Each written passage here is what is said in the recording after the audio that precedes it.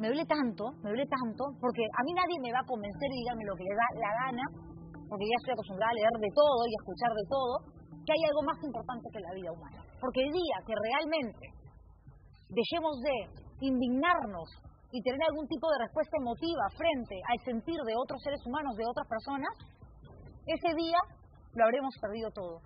Y ojalá que no suceda. Porque hay gente que todavía, todavía, repito, tiene sensibilidad. A ver, Andahuaylas. Empezaron las protestas a tornarse violentas. ¿Tenemos un mapa? ¿Sí, Joan? Ahí está, la escala de violencia desde la asunción de Dina Boluarte. Eso es lo que nosotros hemos trabajado para ustedes, para que entiendan bien cómo es que este tipo de protestas de sangre ¿no? han ido subiendo de temperatura en el transcurso de los últimos días. El 11 de diciembre en Andahuaylas empiezan estas manifestaciones, se tornan violentas, dos policías fueron secuestrados, uno de ellos fue Walter Rivera Obregón, los enfrentamientos con la policía en este distrito dejaron 21 personas heridas. Un día después, el 12 de diciembre, los delincuentes quemaron la comisaría de Chinchero, se enfrentaron a la policía, los que respondieron con balas, ocasionando la muerte de varias personas, cosa que no debió suceder, los debieron detener y trasladar a una dependencia policial. En total, en toda la provincia fueron siete personas las que dejaron de existir.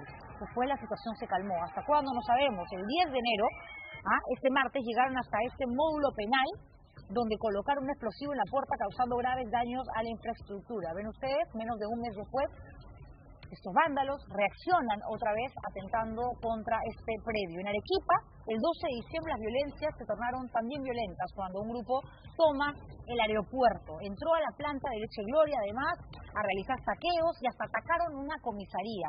Un día después, 13 de diciembre, los enfrentamientos con los manifestantes causaron que una persona pierda la vida. Ese día se registraron ataques a sedes del Poder Judicial, el Ministerio Público. Instituciones fueron quemadas, incluso se registraron saqueos en diversas tiendas y centros comerciales. Quemaron la planta de una agroexportadora. Personas que tienen que ser detenidas, que debieron ser detenidas en flagrante en este momento, algunos sí, otros no. Y a esta altura deberíamos detener absolutamente absolutamente identificados a los agitadores, a los asusadores, a esos que no se manchan las manos con sangre y que están esperando en un café seguramente a que les den el reporte de cuántos muertos van ¿ah? y cuánto están ganando políticamente.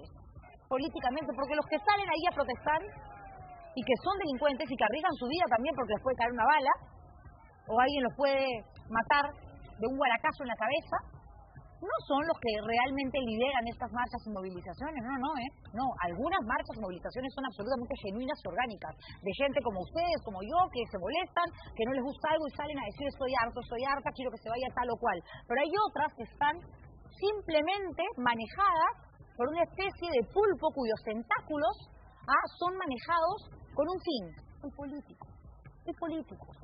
Y ahí están las cabezas de esas mafias y de esas organizaciones también.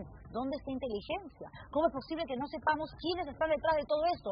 Todo es, me han dicho, me han contado que Evo Morales, que vienen de Bolivia, que de aquí, que de allá, que terruco, todos son terrucos. No, pues, no. Eso no hace más que seguir dividiendo y seguir polarizando. Vamos con la gente.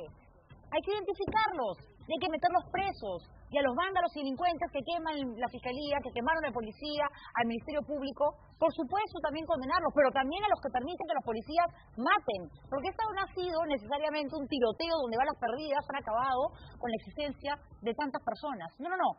Aquí yo tengo los documentos, ¿eh? Aquí yo tengo los documentos que son oficiales, oficiales, certificados de defunción de los fallecidos en Juliaca, que varios han muerto de balazos en la cabeza, de impacto de bala. Se los voy a mostrar en un rato. Quiero seguir justamente hablándoles, mostrándoles este mapa del Perú que justamente lo que hace es presentarles los espacios, los lugares, las provincias, regiones que todavía, todavía siguen en rojo, producto de la violencia de las protestas que se han generado. En Ayacucho, me quedé en Ayacucho, ¿verdad? Sí, al día siguiente, el 16 de diciembre, volvieron al aeropuerto tomando las pistas de aterrizaje. Adicional a eso, quemaron la sede principal del Ministerio Público y el Poder Judicial. Un día antes, las protestas se tornaron violentas en Ayacucho. Ya se había dictado emergencia justamente en esta provincia, estaban los militares, los manifestantes llegaron hasta el aeropuerto, quisieron tomarlo. El 10 de enero la ciudad ha vuelto a la calma luego de que para muchos fue una matanza indiscriminada yo creo que eso fue, definitivamente. Fueron 10 las personas que dejaron de existir. Nos vamos ahora hasta Cusco. El 13 de diciembre se vivió el caos cuando grupo de protestantes intentaron tomar el aeropuerto haciendo forados, se metieron en la planta de gas de camisea, además hicieron destrozos, saquearon tiendas. La más afectada fue una joyería que perdió miles de soles, estaba, esta quedaba en plena plaza de armas de la ciudad. Un día después, el 14 de diciembre, atacaron instituciones, quemaron sedes del Ministerio Público, lograron ingresar a la pista de aterrizaje del aeropuerto y atacaron una de las estaciones del tren. El 9 de enero, ya dentro del el grupo, digamos, la saga de violencia de la que venimos hablando esta última semana, quemaron un bus que trasladaba policías enfrentamientos entre policías, ejército, manifestantes. Eso sucedió el día de hoy. Murió una persona, la misma que ha sido confirmada hace algunas horas. En Puno, el 6 de enero, intentaron, nos vamos a Puno, intentaron tomar el aeropuerto, grupo de protestantes registrándose otra vez enfrentamientos entre manifestantes con la policía. Quemaron, de hecho, una tanqueta policial. El 9 de enero todos lamentamos la masacre que se vivió en esta región. 17 muertos, incluidos menores de edad. 17 muertos, señores. Así estamos. Así estamos. Y como si esto no fuera ya demasiado triste y preocupante,